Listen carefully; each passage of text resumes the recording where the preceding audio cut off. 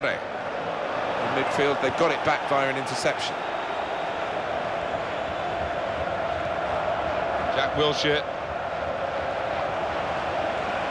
Opportunity here, in with a chance. What a goal!